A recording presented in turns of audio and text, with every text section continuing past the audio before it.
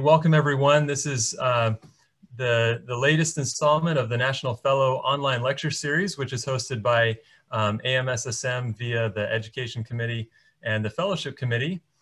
And uh, we are very pleased today to have uh, Dr. Kristina Wilson um, speak to us today on the pediatric limp.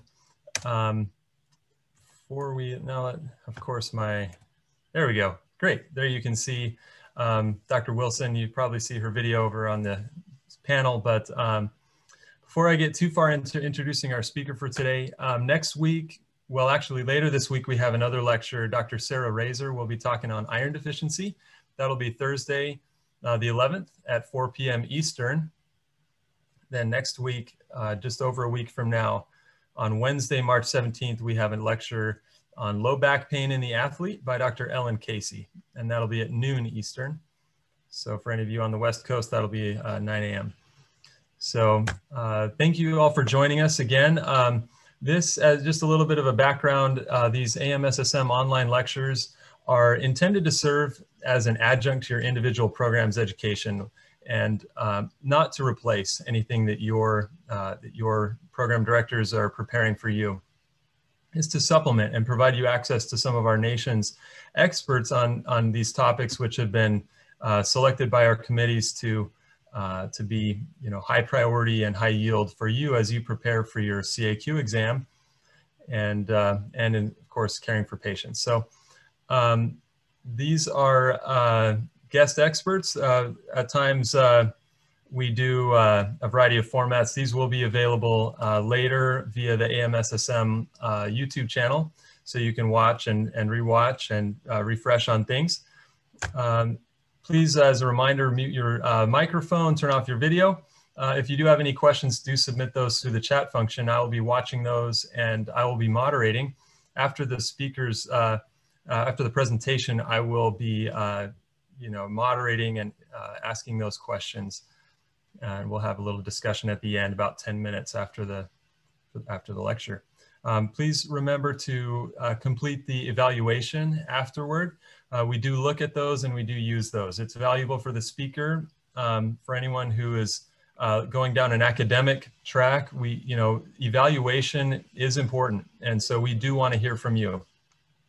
And um, I think without further ado then, we will go ahead and introduce our speaker, Dr. Kristina Wilson is a pediatric sports medicine physician. She is in Phoenix. She uh, trained in residency in Phoenix in pediatrics, uh, went on to do a fellowship in sports medicine at Vanderbilt University, and later returned to uh, Phoenix, uh, where she now works. Um, she is the uh, medical director for adolescent and pediatric sports medicine and sports physical therapy at Phoenix Children's Hospital. Um, and is the co-director of the Pediatric Brain Injury and Concussion Program at Barrow Neurological Institute at Phoenix Children's. Um, she's an assistant clinical professor in the Department of Child Health at University of Arizona School of Medicine in Phoenix. Um, for 15 years, she's been a team physician for multiple high schools and youth clubs and uh, been involved um, with a lot of Arizona Interscholastic Association um, and has been uh, chair on the uh, Sports Medicine Advisory Committee. Um, I know she's involved with AMSSM and uh, she does a lot. So uh, we are very lucky to have her and hear her um, speak to us on atraumatic causes of limping in pediatric patients. And I'll turn it over to you, Kristina. Thank you so much, Nate. I'd also like to just uh, take a minute while I'm sharing my screen just to also uh, thank the AMSSM Fellowship and Education Committees for inviting me to be a part of this. Uh, this is a very, I've been involved with the AMSSM Education Committee for uh, several years now, almost all the years that I've been a part of AMSSM. And so this was a really great thing. I think that was kind of a silver lining that came out of the pandemic to be able to, to do this for the fellows across the country. So I'm excited to be a part of it. Um, is that sharing screen so that you guys can see everything okay? Perfect. All right. So this morning we're going to just spend um, a little bit of time talking about atraumatic causes of limping in pediatric patients. Um, this is a very uh, in-depth uh, conversation and obviously has a broad differential. So we're going to kind of uh, talk about some of the highlights and just the most common causes that we'll kind of see in that pediatric population. Um, I do not have any relevant financial disclosures. Um, the objectives of this morning are really to list the most common conditions that will cause an antalgic gait in pediatric patients without a known injury, recognize concerning radiographic abnormalities of the growing hip, and then also to establish appropriate treatment and referral recommendations for pediatric patients presenting with an atraumatic limp. And so we are just going to focus on non-trauma related injuries. So as I mentioned before, the differential for a limping child is very broad. So this is just kind of an example of all the things that you can think about. Um, and so I'm gonna try to spend a little bit of time at the beginning of this presentation to try to help you figure out how do you narrow this list down when you're first seeing this kid who's coming in for a limp. Um, we're going to focus on uh, some of the most common things um, at different ages, and we'll talk about why age is important. Um, and so, really, I highlighted just developmental dysplasia of the hip, which we'll talk about. Most people think about it uh, in an infant um, and worrying about it then, but I'm going to uh, kind of talk to you and, and, present a case to you guys about why it's also important to think about later. Also, um, some infectious causes like uh, septic arthritis, transient synovitis, and then also then kind of finishing up with some degenerative things um, like Legg-Calvé-Perthes, and then um, SCFE or slipped capital femoral epiphysis. Hey, Kristina, can I interrupt for one second? I'm sorry. Absolutely, uh, you're fine. We're seeing this in speaker mode, not in the full screen presentation. Oh, let me let me change it then. Yep. All right. Let's do a new share. Let's see if this works here. All right. Let's try this one. Cool. There we go. All right. That work Thank you. And then just tell me if it doesn't advance. Okay. we'll do.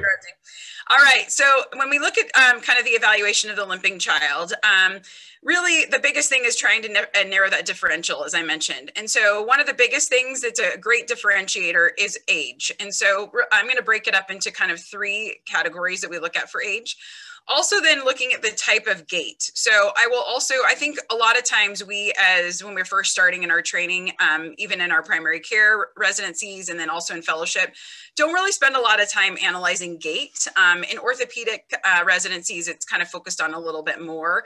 Um, and then also location and then pain um, whether or not there is pain or whether this is a painless limp is also important. Um, did that advance okay nate Perfect. All right. And so um, five critical questions I think that are important to kind of look at are, is the limp due to pain? As I mentioned, did the pain occur suddenly or gradually, or has it always been there? Is the child systemically ill? Um, and does the child exhibit a specific gait pattern? And we'll talk about some of those and look at those. And then can the pain be localized? And so those are also um, kind of important differentiators in looking at um, how we separate this out. So the three categories that I like to put this in are toddlers, um, which are defined as kids less than four years, children ages four to 10 years, and then adolescents greater than 10 years. So the normal gait pattern uh, really looks at where there's this um, initial contact, basically where you have heel strike and toe um, strike with both feet on the ground. Then you go through uh, basically this loading response into mid stance where you're on one foot um, and then kind of progressing through um, the terminal stance and then into the pre-swing. Um, and so that's kind of how the normal gait pattern flows. Um, when we look at sort of just normal gait variations, you know, obviously, much like many things that we see in musculoskeletal care, not everyone is identical, but not everyone is abnormal. Um, and so there are definitely variations in gait in children. And so one of the most common things that we see, um, and I live kind of in an orthopedic clinic and do sports medicine that way, is toe walking. So toe walking is absolutely normal and very common up to about three years. Um, part of that is just how kids develop uh, lower extremity muscle coordination and balance. And so up to three years, we usually tell parents not to worry about it. Um, after three years, we kind of assess, you know, tight heel cords and other things. In toeing is also probably the most common thing that we'll see with the gait disturbance in kids. Um, every parent thinks it's the reason their child trips when they first start to walk, which is not has nothing to do with that. Um, but really looking at um, the reasons that that happens. And so in kids, in little kids, it's very common because of femoral anteversion and then also tibial torsion. And femoral anteversion is most common actually between ages in three to eight is the reason for in toeing. And so in toeing can last, you know, up as uh, in, in upwards of eight years. Most kids by like five to six kind of uh, um, start to develop that more normal out-toeing adult gait pattern, um, but some kids will still persist with their in-toeing. And then also metatarsus adductus, which is more common, a more common reason in the younger kids, usually resolves by about six, but many times kids will have that sort of um, foot progression angle that's kind of internal there, which also contributes to that. Um, or bow, bow legs um, also is a common um, abnormality that we'll see with gait. And it is very common from birth to that early toddler phase. And then they sort of start to um, progress and, and, and grow out of that. Um, and then it usually reaches its max at about a year. Um, and it's generally without any out toeing. So it's basically, they have a normal foot progression angle, but basically will have that, um, that uh, bow-legged appearance. And then most of them resolve by about a year and a half. Um, knock knees or genu valgus um, is associated with in-toeing, um, and that most of the time resolves around seven years, which is when we kind of see that that in-toeing also resolve. And then flat feet, which I think many of us um, see frequently, um, the arch uh, will reconstitute with flexible flat feet, and so that's an important differentiator between pathologic flat feet, um, which are, are sometimes a surgical condition, and then uh, flexible flat feet, which are not. And then most of those will resolve by six years. So almost every kid when they start to walk does not have have an arch and that's completely normal. Every parent worries about it, especially when there's family history of flat feet. Um, and so just providing that reassurance that, you know, by six, we usually will start to see where they'll have some arch um, that, that progresses. Um, the adult pattern of gait typically develops between about three to five years of age. And so many of these gait abnormalities we'll see kind of resolve by about five years, which is what I mentioned previously. Um, when we look at different types of gait, um, one of the most common that we'll see in a sports medicine or musculoskeletal clinic is an antalgic gait. An antalgic gait is really a compensatory gait pattern. So this is due to pain typically, and what they're trying to do is avoid the pain. Um, and the pain oftentimes is coming from the pelvis or the leg on the affected side and those characteristic features that you'll kind of see with an antalgic gait are they usually spend a decreased duration of the stance phase. So that's basically where they have that single leg stance. And that obviously makes sense because they're trying to avoid um, any weight that they're putting on that affected leg independently. Um, and then there's a lack of weight shift laterally over the stance limb. So even when they have a double foot contact, you'll see that they're leaning a little bit to one side with an antalgic gait, the side that's not affected. Um, and then they have a decrease in the swing phase on the of the unaffected limb. So they're just trying to minimize how much contact that foot is on the ground. Non-antalgic gait patterns, there's four common ones that are described. So there's an equinus gait pattern that more commonly is seen with CP, um, but can also be seen with leg length discrepancy, um, which we'll talk about just a little bit, but I'm not gonna kind of give you an example because equinus, um, most of us are not seeing, those are usually kind of seen in neuromuscular orthopedic clinic.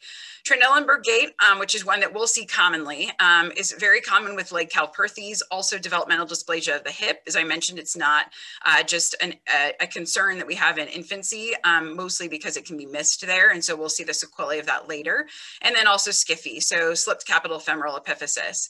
Um, a circumduction or a vaulting gait oftentimes is seen most commonly with leg length discrepancies, but it can also be seen with uh, cerebral palsy. And that's basically where they actually will swing their leg out um, and they're basically just trying to clear that leg because it's longer than the than the opposing leg that they're on that stance phase in at that time. And then a steppage gait, which I'll, I'll kind of show you a picture of that. Um, steppage gait is basically where they have to sort of hold their foot up and have a very exaggerated swing phase to their gait. Um, and that's seen commonly with uh, Charcot-Marie tooth, so, um, cerebral palsy and spina bifida. So we're not really going to talk about that one much either. The one we're going to focus primarily on today is Trendelenburg gait because um, that's probably the most uh, common that we'll see. And then also an antalgic gait from pain. And so, um, and a little bit with that equinus, as I mentioned, with that length discrepancy. So this is actually um, a toddler who was volu volunteered uh, for her little uh, presentation. So I think it's just important for us to sort of know what that toddler gait looks like. Um, and so they have a wide based gait. Um, they um, and that's really to help with balance. They will also um, spend a little bit less time in that stance phase, so there's less single leg contact, and they have a pretty uh, quick swing phase. And so that's basically what a normal toddler gait looks like. And I'll play through it just one more time with me not talking.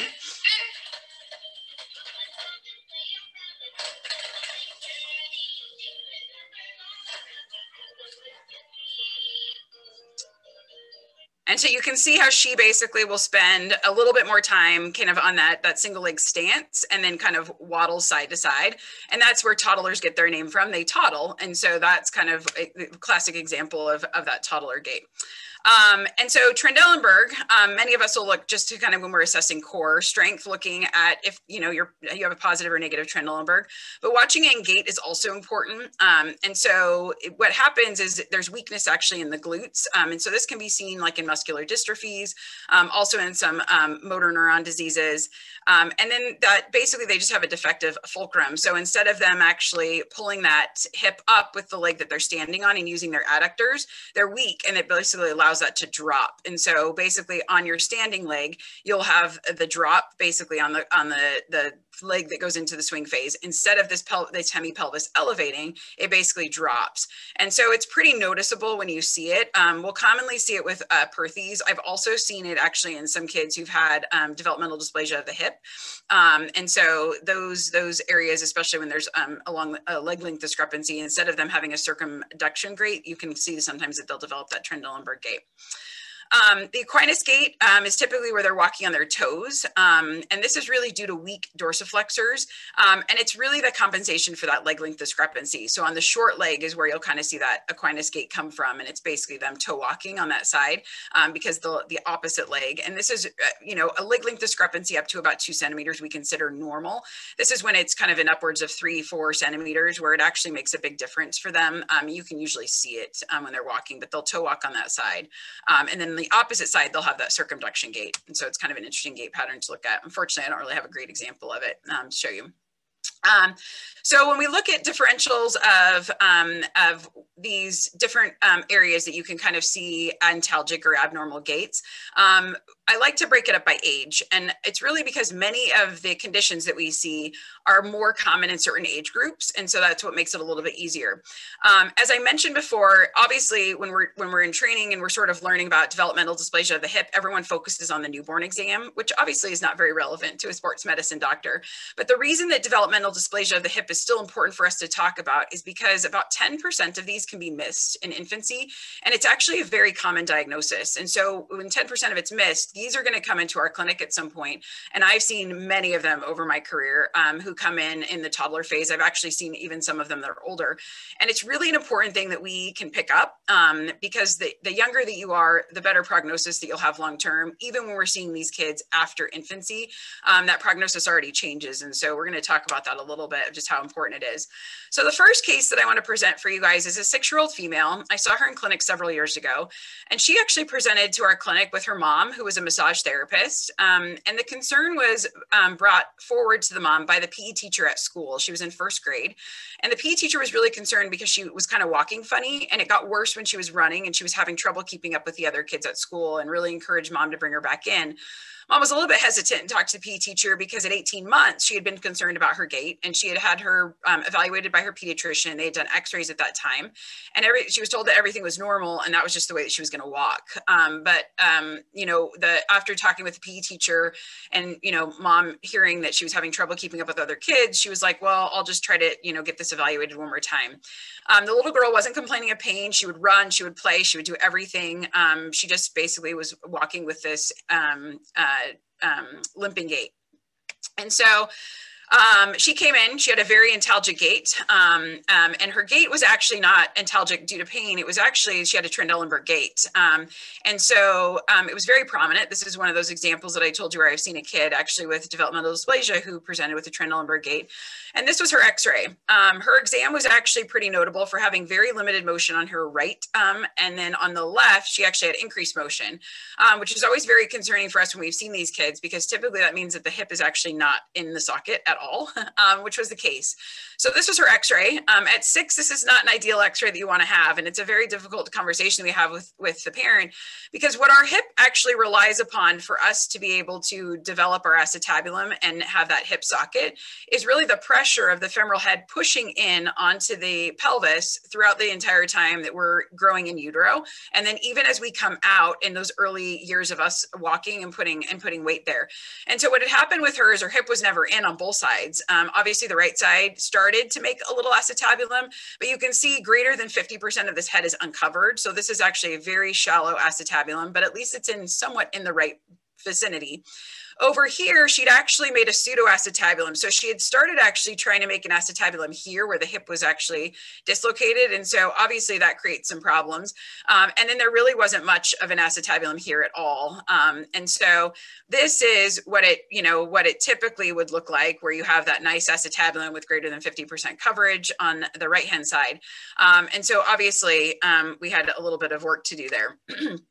And so the diagnosis of this is typically made by physical exam. As I mentioned, those findings that you'll find. This is also an interesting thing, and because of the emphasis in musculoskeletal education and, and training on ultrasound right now, at the end of this presentation, I will talk about some of the utilities of ultrasound, but this is one where you can actually find the hip dislocated um, on ultrasound pretty easily. Um, and then after four months, uh, we typically will, will look at x-rays. In the infancy, we do ultrasounds, obviously, um, and that's really because the femoral head is mostly cartilage, and so we can't really see it on x-ray, um, and you can see it on ultrasound very well. Um, and then also um, MRIs and CTs are usually only used in the pre or post-operative for, for pre-surgical planning. And then also just to make sure that it's located um, post-operatively pretty well. Oftentimes our surgeon um, will do an MRI afterwards. Um, and then, so when we look at developmental dysplasia of the hip, um, as I mentioned before, in the toddler, it's not uncommon to present with a leg length discrepancy and a limp. Um, and these are really due to screening failures. Um, and so despite, you know, the emphasis being really careful examinations at birth, as I mentioned previously, about 10% of them are missed. Um, and so this is a picture actually where you can see um, this kid's hip is actually out. and so you can see when they're standing that Trendelenburg position of, of how they how they drop there. these are just example of some of the tests that we'll do like in infancy to kind of look for this. So obviously we always talk about um, changes in skin folds when you look at the little, their little doughy thighs. Um, and then also this is a Galeazzi. So when you bend their legs up and bring their heels to their butt, you should see that both of their knees are level. And when one of them's not, you're worried that that hip is dislocated. And when it dislocates, it actually migrates um, um, caudally. And so that's what causes that leg length discrepancy on that side is the femur is a little bit shortened because of the position of where the, the femoral head is sitting in the pelvis. Um, and so, and then obviously Ortolani and Barlow, which we talk a lot about, but these are just some other things that, that can be done as well. So this is a, a picture of that um, little kiddo that this is actually a different child that we had. This, this was a, a three, almost four year old, um, but kind of a similar presentation. So she actually, you can see the joint space, how wide it is here. There's not very much coverage here. Um, she has fairly good coverage on the contralateral side. Um, and the reason that I mentioned that this is important for us to be aware of and just sort of be able to, to uh, diagnose and, and pick up is that you know when we get these kids in that zero to six month time frame it's ideal because we just put them in a pavlik harness it's inconvenient for the parents but they get used to it. And it's uh, very inconvenient compared to all the other things that will happen if we have to treat this later. Um, and so typically they're wearing the pavlik harness uh, for that first you know sort of anywhere from three to six months. Um, most of the kids do very well. We follow it with ultrasound make sure that that uh, femoral head stays located. Um, but if we miss it in that infancy period um, and it's greater than six months what is pro- what the ha- what's happening now is that they are starting to actually ossify that femoral head somewhat.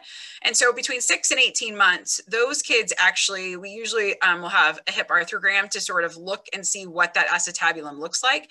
And then most of those kids have to be in a spica cast. And that spica cast is on for anywhere from like three to six months, which you can clearly tell the difference. You know, a pavlik harness that comes off to sort of, we actually have them stay in it pretty much all the time, but it's easier to clean around than when you have a spica cast that's on all the time. Um, these kids actually become quite functional in their spica cast. So this is like a little like chair that a family made out of like a little, um, they used actually a diaper box as kind of a, a mold and a pattern. Um, and then can put the pillow through here so that she can sit and her bar is across the bottom and, and she's completely content and happy. Um, but they have to be in it for a long time. And the reason that we put them in this position is this is actually putting that femoral head back into that socket to form that acetabulum. Um, and then if that, and also kids, some kids actually fail is probably a bad word, but they just they don't respond to the pavlik harness as well. And so then we do end up having to cast them after six months. Um, but most of them actually respond very well to the pavlik harness. And then if it's greater than three years where we were at with this kiddo, um, unfortunately, the only things we can do at that point are we actually have to do an osteotomy, uh, basically recreate that acetabulum, put the, the, uh, the hip socket back in. And obviously you can imagine long-term, there are some sequelae of this, of, you know, it's not this perfect fix of how everything's back together. But the great thing is, is actually looking how well that acetabulum will sort of form over time. We can still catch them sort of before six, but this is multiple surgeries. Um, we also have to shorten that femoral neck and do some other things to basically put get that hip to fit back into the, the socket correctly. So it's a big, it's a big undertaking with multiple surgeries, and obviously these kids um, go through a lot. Um, obviously, as we mentioned, and this is just really for for board preparation, but you know, risk factors, um, obviously female breech, family history, um, and then any um, the firstborn, and then there are certain ethnic groups as well um, that are more predisposed to this. Um, you know, we used to talk a lot about the Native American population and where they would papoose kids. They basically were keeping their legs straight together. They never had that abducted position where they were keeping that uh, hip in the socket. And then females, it's much more common in females with a ratio of six to one. Um, so some kids with mild developmental dysplasia will last all the way till adolescence or even early adulthood where we finally pick these uh, patients up. And a lot of times it's because they're starting to develop um, arthritis or other things that we wouldn't expect them to see. Um, and now we know that that's probably because they had developmental dysplasia of the hip that was missed um, as a child. And most of the time it's because it's a very mild case. Um, but a lot of time these kids will present with pain in the groin with activities. And so um, these tend to be kids who migrate to uh, sports like gymnastics and dancing because they have increased uh, motion in their hip, which is great up until the point that it starts to hurt. Um, and so, um, and then on x-rays, you'll see that they have that shallow acetabulum with less than 50% of femoral head coverage. Um, and then oftentimes there's associated labral tears, um, which are kind of uh, addressed at the time that we kind of addressed where they're the, the developmental dysplasia and the position of their hip.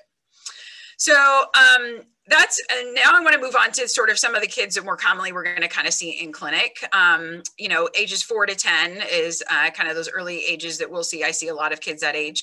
Um, and kind of the big things um, I like to focus on in this age are bone and joint infections and synovitis and then Legg-Calvé-Perthes. But you can see here's some other examples of other conditions that you should think about um, that could be going on as well. So our second case is an eight-year-old female. Uh, she's a one-week history of progressive pain with weight bearing. She's unable to weight bear for about three days now.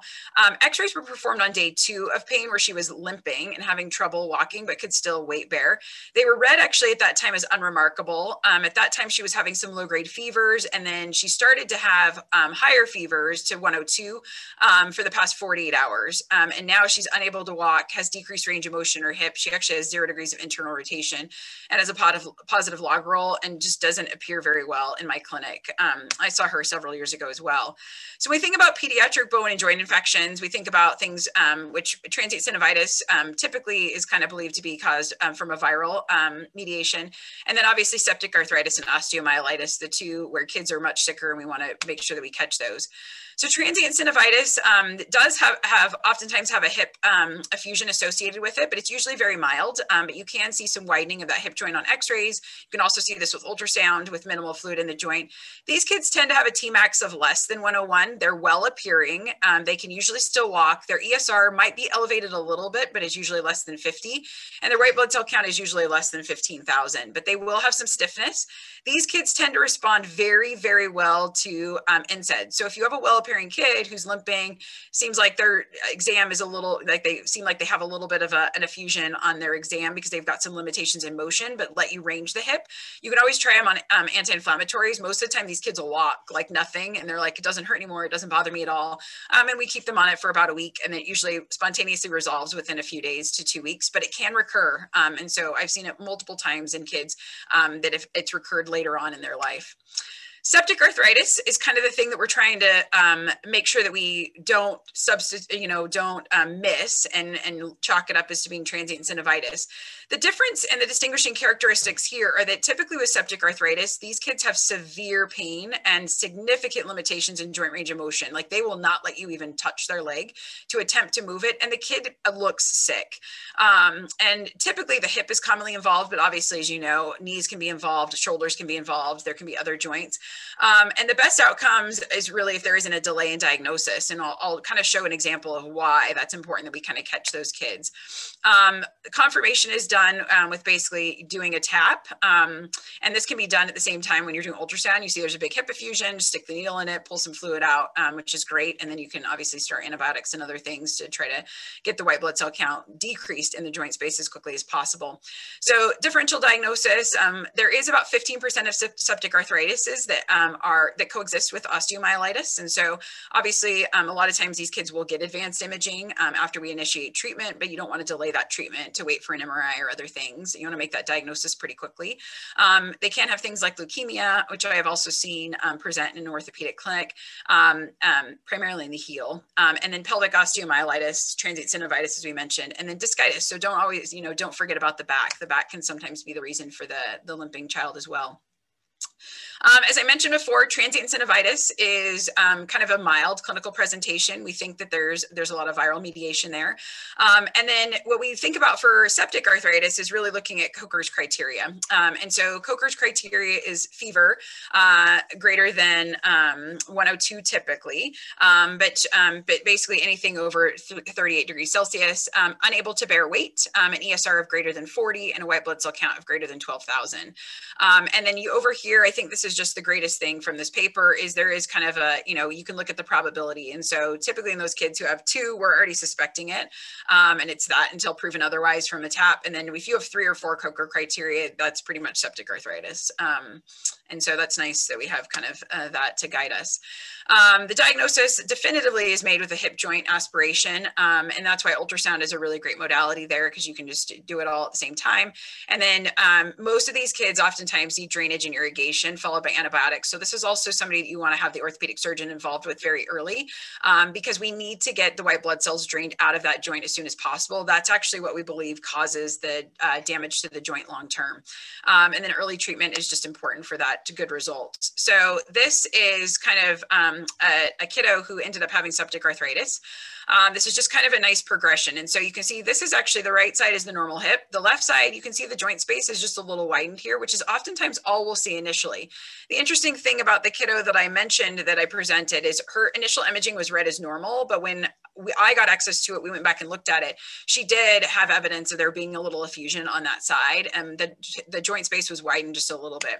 Um, and so, kind of then as we progress uh, through to the next thing, this that joint effusion can get so big with septic arthritis that you can actually dislocate the hip, um, and it's just pushed out. Um, and so the problem with that is, is obviously the hip, the femoral head is really um, the vas the vascularity to it. Um, that you put tension on it when you start to dislocate that hip, and that's what really causes one of the long term outcomes of it, where you can actually just get complete necrosis of that femoral head, and that's um, really like it's kind of like a Perthes kind of thing, where it's just um, necrosis that happens from the blood supply being disrupted. And so those are the things that we want to kind of avoid.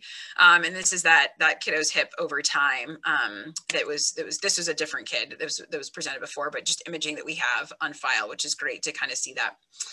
So uh, case number three um, is a six-year-old Caucasian baseball player. Um, he was limping while playing baseball, which is why his mom brought him in. Um, he occasionally uh, endorses some mild pain, especially after baseball, but doesn't really endorse any pain during baseball. He's able to play through the pain, which he's been doing, and it's been kind of going on for you know the last um, month or so. Um, and then the pain has been progressive over the last uh, month or two that he kind of endorses that he's had a little bit of pain. And he currently lives at home with his mom and two older brothers. There isn't a dad involved, and he also has a younger sister. Um, mom does smoke, but she smokes outside the home. So he is um, obviously probably um, exposed to a little bit of uh, secondhand smoke, which is important for this diagnosis.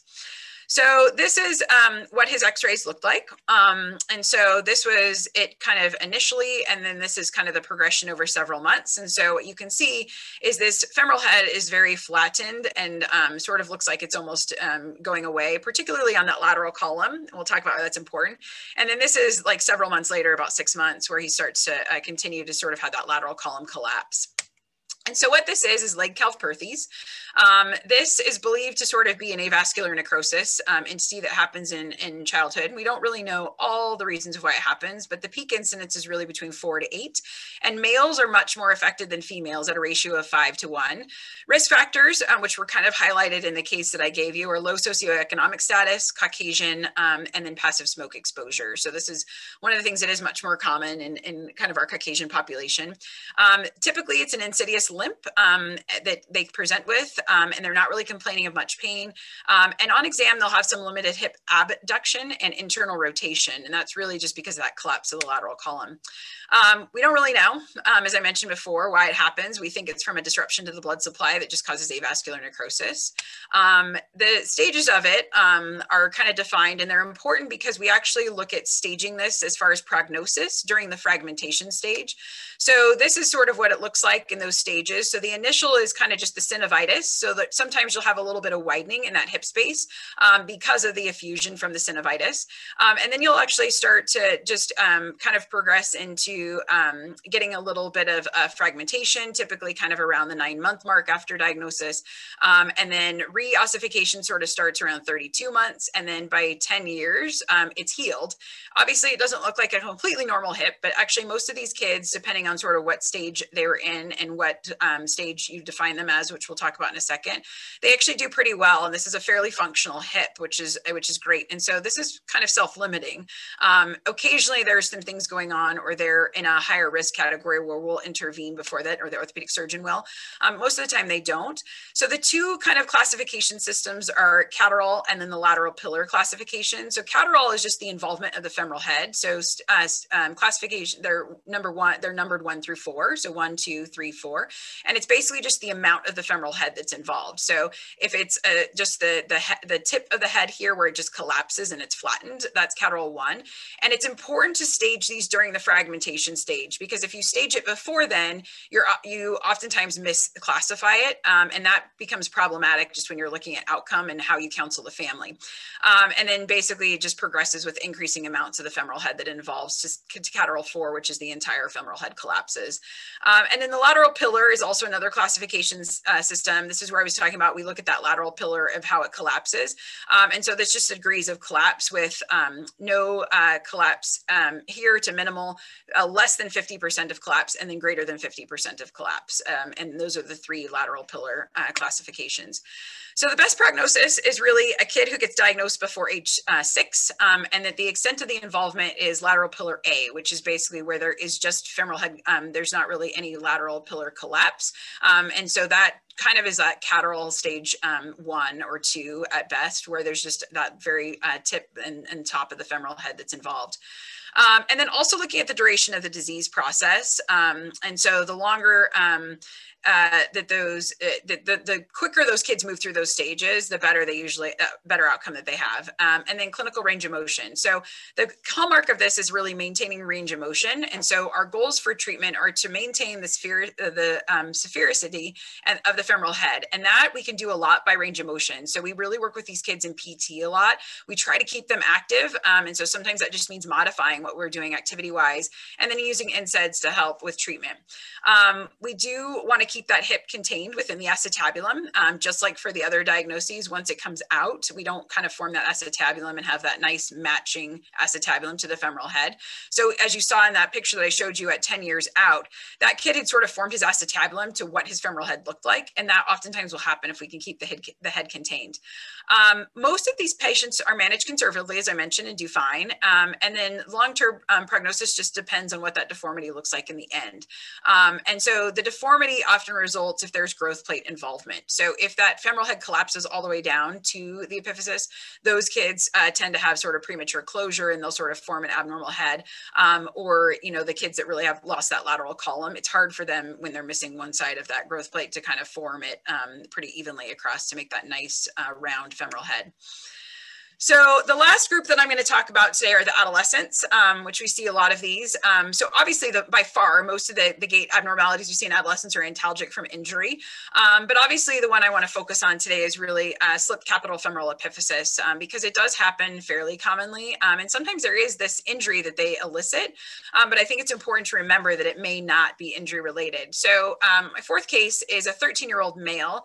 He comes in actually to clinic presenting with a three month history of left knee pain. Um, he is limping by the end of the day, but oftentimes starts the day without limping.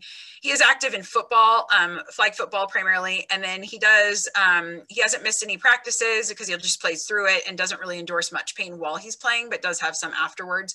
And then there's not really any history that he had of injury. Um, he denies any night pain or fevers, and then on exam uh, he does limp. Um, he but he is able to run. He jumps, um, and then he doesn't have any tenderness about the knee.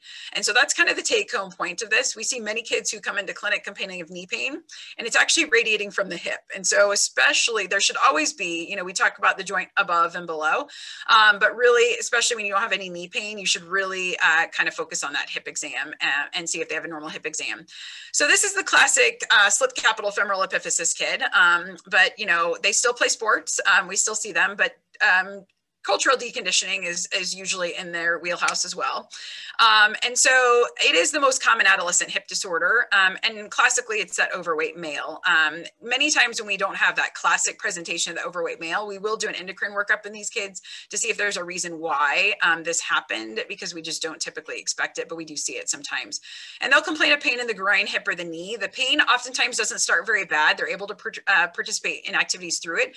And then it progresses to the point um, where sometimes they get to the point where they can't walk, and that's not a good thing. And we'll talk about that. Um, many of these kids, just because of where the pain presents, oftentimes in the knee, um, or they have this injury that, you know, they did something funny and they think that's why it hurts. And everyone's like, oh, it's just going to get better. And they don't x ray it. We often have this missed or delay in diagnosis. Um, the etiology of it still remains unknown. Um, we think it's multifactorial from all these kind of areas. Um, and then the the age range for this is pretty narrow. For males, it's it's typically around 13 and a half years. It's right before that femoral head starts to close. And for females, it's a little bit early at about 11 and a half years. Um, and then we have started to see younger and younger kids. And we think that's also because kids are getting to skeletal maturity at younger ages. And this tends to happen right around that time of skeletal maturity. So here's um, an example of sort of what happens. This is what a normal hip looks like on the um, left-hand side of your screen. On the right-hand side, this one actually was missed initially um, by an outside by an outside radiologist, um, and then when they came in, we were like, "Oh no, that is already slipping." But many times these can be very subtle at the beginning. You'll just see some widening of that um, femoral uh, growth plate. And what's great is you have two sides, um, and most of the time, SCFE is not going to happen in both hips at the same time. Legg-Calvé-Perthes does the same thing it tends to be simultaneous instead of um, at the same time. And so this um, this widening, you can always get the other hip and look at it and see does it look more wide or does it look the same. And then it's also important just to be able to get a frog leg lateral as well as an AP because sometimes you can't see this until you look at the frog leg lateral, but you and you miss it on the AP. Obviously, this is when it's starting to slip here and it has slipped. Um, and then this has slipped as well here. And this was the same kid six weeks later. So this kid didn't um, initially have the diagnosis, was allowed to continue to participate in stuff. Six weeks later, he wasn't able to walk at all, was in severe pain and basically represented, or he then presented to our clinic. This is when we actually saw him. Um, and of course, at that point had already slipped. And the reason it's important to kind of catch these kids early, um, this is also where there's unstable. So that's already slipped. Um, so unstable unstable and stable SCFE is an important differentiator. And unstable just means that they're not able to walk at that point. Stable means that they're able to still walk. We want to catch these kids when they can still walk and it's stable. They have a much better prognosis long term. So um, most of these kids basically get a big screw. We want to catch them when they're still stable. They haven't slipped. They're walking, and we just basically um, um, pin them basically to not let it happen um, with a big screw. Um, and so this is basically just what that sort of looks like over time. And so they'll continue continue to grow, develop, and do everything, and it's fine. Um, this is a 12 year old female who presented with right knee pain to the outside. They referred her into ortho, but they never x rayed her hips. Three weeks later, she got into CS, and unfortunately, she had also gone from basically just having hip pain where there wasn't really much uh, kind of going on uh, to having some widening and starting to slip there. And by the time she saw us in three weeks, she wasn't walking on this. So technically, she was already unstable. Um, and so this is basically what that looked like at that point when we did the frog leg lateral, or this is actually her AP. But so she had already slipped. Um, and so three weeks before, she hadn't slipped yet. Um, she had some widening. She had started to slip, but it was it was really subtle. Um, and you can only see this on the frog leg lateral. So this is her AP. And so that's why it's important to get both of those views.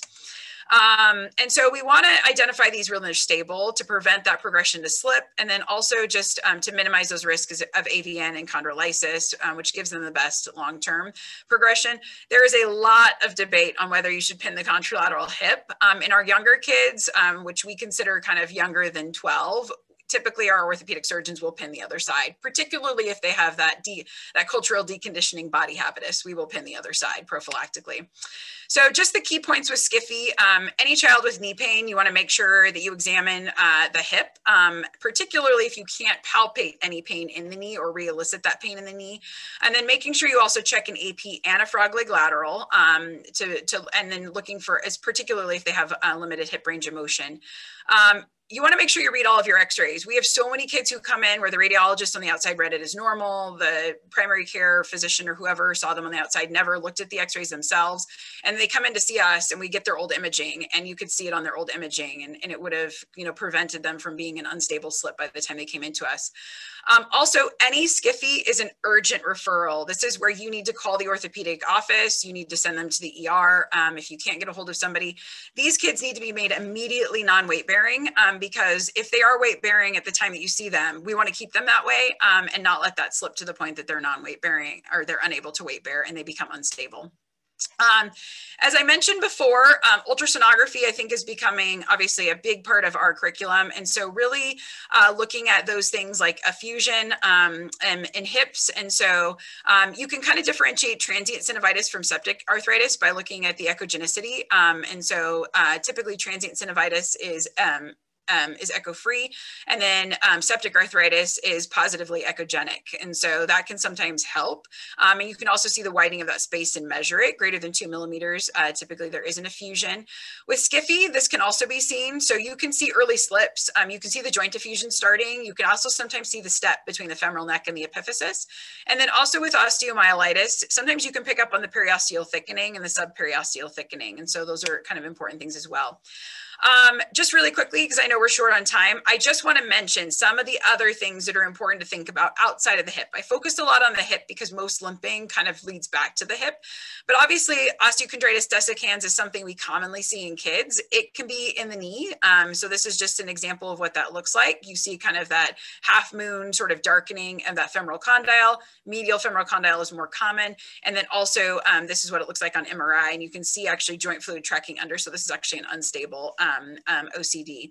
Um, also, um, looking, you can see them on the lateral side. You can also see them in the posterior uh, aspect of that lateral femoral condyle, and then on the patella as well, or in the trochlear groove. So kind of looking in those four places. Um, as I mentioned before, imaging for OCDs um, is typically radiographs. Um, we will typically do MRIs on all of our OCDs to, um, to assess the stability. No, not really to look at how big it is. We can already see that pretty well on x-ray. It's really to determine if it's a stable or unstable lesion. An unstable lesion means that joint fluid is able to get up under it because there's a break in the cartilage cap. And so those kids, depending on their age, sometimes we send um, more quickly to surgery than the stable ones, which we just manage conservatively. Tarsal coalitions, which I won't go into a lot. This is just a, an example of a subtalar coalition here. This is a calcaneonavicular coalition here. Uh, these are also sometimes a reason for a kid who's limping. And then accessory naviculars. I just, I see these like a couple times a week. Um, they hurt. They can sometimes be uh, precipitated by injury. Um, and so that can sometimes be a reason that a kid is also limping or has an antalgic gait. And then obviously we never want to forget about tumors. Um, osteoid osteomas are probably, you know, are benign, but one of the more common ones that we'll see, um, they have this kind of onion skinning appearance. That's kind of classically what they get called. Um, but other tumors we've picked up on. Um, I've actually had two kids with Ewing's um, who've presented into my clinic with a limp. Um, and so those things are always important. Imaging, I think, is very important when you have a limp. And if you're not sure where it's coming from, image the whole leg. There's no harm of doing that. I've actually, I had an uh, Ewing's in fellowship that we diagnosed in the pelvis. Um, and so those are just important places to look. So in conclusion, um, you know, obviously limp is a very common musculoskeletal presentation, particularly in the pediatric population. Um, it's important to kind of determine the gait pattern, um, determine whether pain is associated with it or without it. Um, looking at the age of the child really helps you to kind of narrow that differentiation, uh, that differential, and then also the location of the pain. Um, establishing a broad differential, I think, is important at the beginning, and then really just choosing those appropriate studies to confirm the diagnosis. And hopefully, it helped you guys to see some of what those look like today. Um, and then no appropriate treatment for the cause of the limp and make appropriate referrals. Um, I think the most important thing is knowing when you need to get the orthopedic surgeon involved right away, um, primarily with like SCFE, obviously early on with Perthes as well is helpful. Um, and then always read your own imaging. Um, I can't emphasize that enough. There's so many kids that I see that really would had a, a different outcome if we would have, um, you know, kind of seen their, if somebody would have looked at their imaging aside from just the radiologist early on. So with that, I will turn it back over to Nate and stop sharing and then answer some questions that I'm sure you guys probably have. Cool. That was awesome. Um, that is, as you pointed out, there's so much to cover, um, but uh, thank you. Uh, amazing. I have some questions that I've been taking note of that I think that fellows might be, I, so far, I think they're being shy. Um, but I, I do see one fellow uh, asking a question here. This is Amy Hampel. I know you were saying, I'm just going to read her question. I know you were trying to speed up, but do you mind going back quickly to the last few slides after OCD before tumors? Thank you. I'm a resident. Um, so probably looking at applying to sports, which is great. Um, that's awesome. Maybe she's not, but that's okay too. Um, she is. yeah, do you want me to share it again? I can share it again. Sure, if you don't mind, that'd be great. Not at all. And um, while you're doing that, maybe I'll um, pipe in with a question for you to think about um, that I've heard before, um, but I'd like to hear your uh, viewpoint on this. Do we need to be careful um, in a patient with, with a SCFE or a suspected SCFE? Do we need to be careful examining them with any particular maneuvers or putting them into a frog leg lateral position it's a great question. So, no. So, the biggest risk to them is actually the weight on the joint. So, it's really actually them standing on it. Um, we even had a kid who, this was like, I mean, it was crazy. So, he was barely walking into our clinic, and we're just like, where's the wheelchair? Um, and then it was, it, he went to get up to go to radiology, and he's i mean it was it was pro i mean it was in the process of slipping already we knew but he like went to stand up to like just move himself over the table because he didn't think much of it because he felt so much better sitting. And when he stood up it just completely like i mean i'm sure that was the the the kind of end of the end for him and just was screaming in radiology and we were like oh it's just really unfortunate. But um i mean technically he was probably already unstable. So the exam itself and putting them into that frog leg position is not going to harm them. And so that is completely safe to do.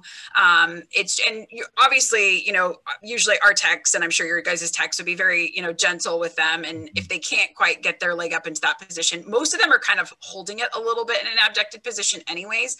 Um, and so it's sometimes easier than actually just getting them straight for their just AP. But we do all of our imaging for our pelvis with them just laying on the table. So um, that's usually not as concerning. So you don't have to be careful. Obviously, don't force their range of motion when you're examining them. If you're like, oh, you only have zero degrees of internal rotation, then, you know, you're not going to be like, let me see if we can get a little bit. So yeah. Yeah. Great point. Well, thank you. I um, I've heard people say that they're concerned, but I, I bet that that's one of these things that gets passed on from one generation to the next without any real basis. And so it's nice to hear that from somebody who sees these. Um, and um, I'll just go back I, um, to uh, Amy's question. I, hopefully this is uh, helpful to you, Amy to be able to see these uh, slides on tarsal coalition, accessory navicular, and, uh, and so forth. Um, so if you have any further questions, please do chime in.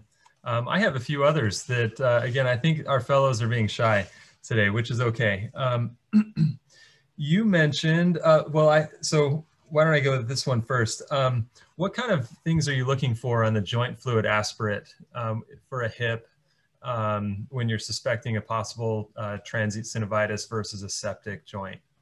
Yeah, so that's a great question that I didn't put in there. So, um, so the different, so typically with a septic hip, you're going to pull out pus on the aspiration. So it's going to be very, you know, it's going to be greater than 50,000, you know, white blood cell count. Um, and then oftentimes, most of the time, unfortunately, these come back as, as sort of an aseptic um, purulent discharge. And so we don't ever get an organism. Uh, but that's what we're obviously trying to get, which is why getting that aspirate before you start antibiotics is, you know, kind of important. But obviously, we still don't delay antibiotics if for some reason you can't get the aspirate right away. Um, and then with transient synovitis, it's usually a serous effusion effusion. So you pull it out, it's mostly, um, if you have any predominance of white cells, it's usually lymphs. Um, and because we really think there's a viral component to transient synovitis. Um, and so it'll just be more this serous kind of sanguineous at times fluid. Um, and those kids, you know, are fairly easy to usually get the tap with the, um, because it's not as painful. With the septic hip, you know, we actually usually already have our kids kind of, there's usually a pretty high suspicion for most of our septic joints. The kids look really sick. And so many times we actually do that aspiration in the OR already with our orthopedic surgeon, and then they just go wash it out. When it comes out as pus, they're like, uh, this is a done deal and just, and get it out. Because the sooner you can get that effusion with all that pus out, the better those kids do. Um, we believe also that there's a component of just having high white blood cell count um, in the joint, um, especially with it being uh, neutrophils that really uh, causes some damage to the femoral head as well. And that's where we see some of the long-term sequelae from a septic hip that was that was missed for a while. And so getting that um, effusion, getting that hip washed out and drained, or the knee, or whatever it happens to be, as soon as possible is really important. That's great. And I think um, in answering that, you also answered um, Peter's question, which was about prioritizing, you know, aspiration versus getting him on antibiotics and, you know, how urgent is this? So um, move on to uh, Carson's uh, question. Are there theories behind um, secondhand smoking and does that correlate with Perthes? Yes. So actually, one of the risk factors for Perthes is exposure, is either a smoking history, which most of these kids are not smoking this is like four to eight, we hope. Um, but secondhand smoke has been linked uh, to that. So low socioeconomic status, as I mentioned, male predominance, and then um, also exposure to secondhand smoke um, has also been linked uh, to um, the development of Perthes, um, which uh, when you think about vascularity and we thinking um, us thinking that this is kind of an avascular necrosis, it kind of makes sense because it's a small, you know, those are small vessels. And so it's just interesting to think that you don't have to be smoking. Your parents can be smoking and expose that and, and put you at risk of having Legg-Calvé-Perthes. But yeah. we do we do counsel our families um, afterwards to like stop smoking um, because we think that potentially it might help in the recovery of it as well. So um, we don't know, but you know it never hurts to use another you know kind of thing in their life to kind of encourage them to stop smoking. So we take advantage of that opportunity as well. Great point. Um, so this is Jordan asking um, on stable OCD lesions um, in the knee, specifically in pediatric patients. Um, what are your thoughts on weight bearing status and activity level and um, return to activity? You know, how, how, how often do you reimage and uh, versus just clinically treat based on pain? Yep, so it's a great question. So we actually, um, so we let them weight bear um, as long as they're able to do it without pain. So I've had a few kids we've had to put on crutches for like a week or two. I typically tell them that once they are pain free, that they should remain kind of on their crutches if we do put them on crutches for about a week. And then I let them start progressively weight bearing off and weaning off crutches. Most of our kids, though, as soon as you stop sport or um, their athletic activity, um, their pain gets a ton better, and we don't ever have to make them non-weight bearing. Um, and so we typically will not cast. Um, there are some centers that do cast for OCDs of the knee. Uh, typically in the knee, we don't. Occasionally in the ankle, I have or booted them um, to get pain control and to get them uh, to start healing. Uh, we shut them down for three months. It's devastating in our office. I hate talking to families and kids about this. This tends to happen in kids who are extremely active. And so telling them that even PE at school they can't do, they can't participate in recess, they basically cannot go outside and ride their bike. We basically sit them on their butt for three months. I'm like, video games are your new best friend. It breaks my heart, but this is your new best friend. Um, or I've encouraged them to like take up a musical instrument. Yeah. So, so three months. And then um, I typically follow with x-ray. Um, one of our orthopedic surgeons follows with a repeat MRI. It's sort of four to six months. I repeat with X-ray. If X-ray looks like it's already improving, then I actually start gradually. Um, I usually put them in a month of PT, and then we start um, return to sport or activity um, on month four to five, basically.